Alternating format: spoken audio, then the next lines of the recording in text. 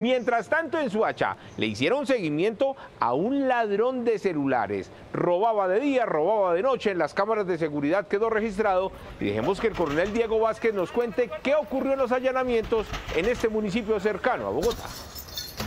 En esta diligencia de allanamiento se captura a un hombre de 40 años, conocido como Saúl o el gato.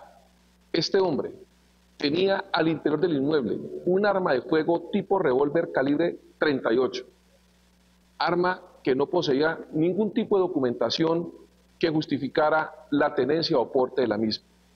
Asimismo, se logra incautar varios celulares, los cuales presuntamente fueron hurtados en jurisdicción de este municipio.